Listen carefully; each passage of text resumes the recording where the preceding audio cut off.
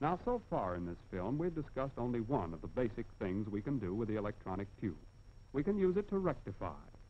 The second basic thing we can do with it is amplify. Here's how. Between the cathode and the anode of the two-element tube, which we diagrammed a while ago, we now place a grid.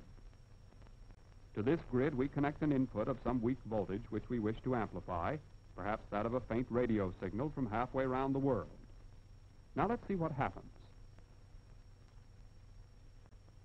Every time a negative potential is impressed on the grid, even though it be very minute, it has a large effect in reducing the number of the negatively charged electrons which would otherwise keep flying from cathode to anode. Conversely, when the grid is positive, an equally large effect is exerted in increasing the flow of electrons from cathode to anode. The important thing to note here is this. A small amount of power applied at the grid is amplified into a large amount of power in the anode or work circuit. This amplifying property of the three-element electronic tube is put to work in innumerable ways. Westinghouse electronic amplification now helps provide radio and radio telephone contact between airplanes and control stations on the ground, between ships and their communication bases, both afloat and ashore, between individual tanks and their tank force commanders, between firing line and headquarters, between sea-drome lights and night-flying pilots who can turn them on by radio signal. In the field of power engineering, electronic amplification permits the measurement and analysis of minute voltages, stepping them up to the point where they can be seen and interpreted on oscilloscopes. When this giant rotor is completed, its precise dielectric balancing will be made possible by amplifying tubes. Testing of these propellers for vibration fatigue will also be facilitated by electronic amplifying tubes. Up to now, we've considered two of the basic things that the electronic tube can do. It can rectify, it can amplify. A third thing it can do is generate. The term generate in this connection is meant in a general rather than a technical sense. A triode is connected for oscillation in the way shown here. The system then becomes capable of changing direct current into alternating current. Note that what we're doing in this case is amplifying in the usual way and then feeding back to the grid part of the amplified voltage. Continued repetition of this feedback results cumulatively in a strong alternating current. This electronic means of generating alternating current is important because it can produce very high frequencies, frequencies up to millions of cycles, far beyond the range of ordinary rotating equipment. A familiar application of this is the radio transmitter. This modern transmitting room of Westinghouse station KDKA is a far cry from the pioneering equipment of its famous predecessor. This scene reproduces an historic occasion, the first time a radio transmitter was used for large-scale public entertainment. This is station KDKA of the Westinghouse Electric and Manufacturing Company. We are about to begin the reading of the presidential election returns between Warren G. Harding and James M. Cox. Stand by, please. Here is a new, less familiar application of electronic high-frequency generation. High-frequency heating of 200,000 cycles per second is now used to flow tin as the final step in the electrolytic plating of steel strip. After steel strip comes from its electrolytic tin plating bath, it first passes through a washer, then between hot air drying jets. At this point, the steel strip has a coating of tin that is relatively dull and porous. Next comes a vital step. The strip is raised to the top of the heater unit housing, inside of which is a series of high-frequency coils. As the strip comes down through these coils, induced electric current causes heat, which flows the tin almost instantaneously, greatly improving its structure as a protective covering. Here's the result. Tin plate that is mirror smooth, free from porosity, so perfect a protective covering that one pound of tin can now do the work of three. Note the horizontal bars in this close-up. These are parts of one of the high-frequency coils that affect the tin flow.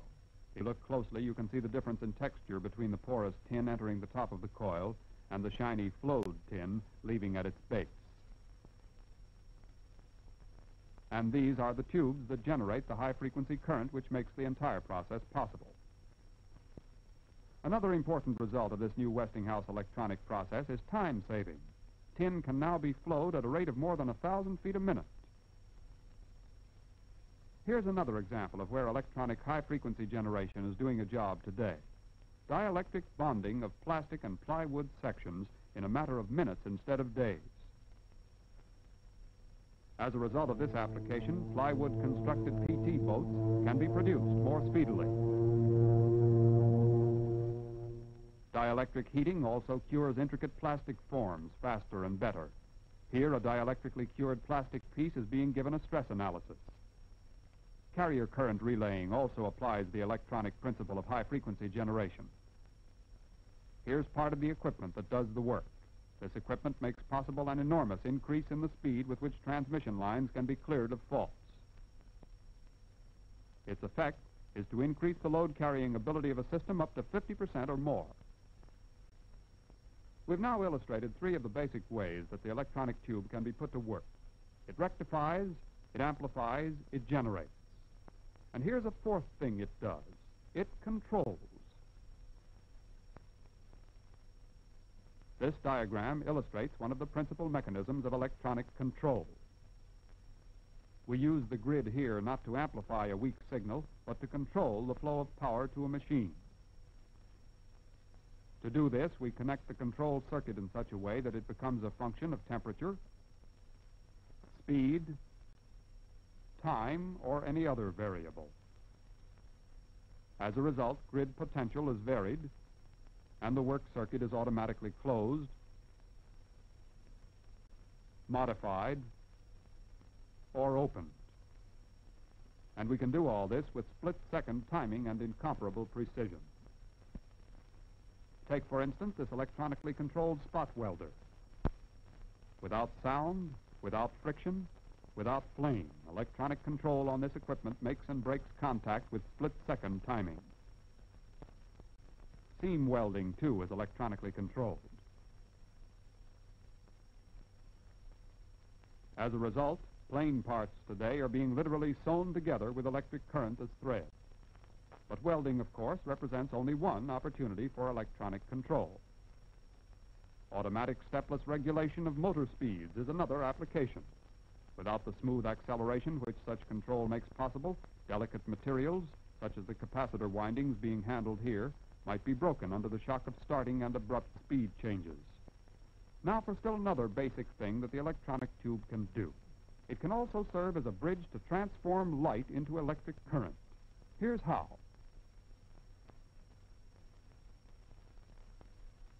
We replace the ordinary heat-activated cathode of a two-element electronic tube with one made of photosensitive material. Light can now replace heat as the stimulator of electronic emission. The stronger the light, the greater the electronic emission, and consequently, with the aid of an amplifier, the more power flowing through the work circuit. This is important because it means that photoelectric tubes can function as light relays and so be given an almost infinite variety of jobs to do scanning the soundtrack of the talking motion picture film you're listening to right now is one of them. Another is the television camera. The iconoscope used in this camera is merely a special form of electronic tube. Product and process control is still another application.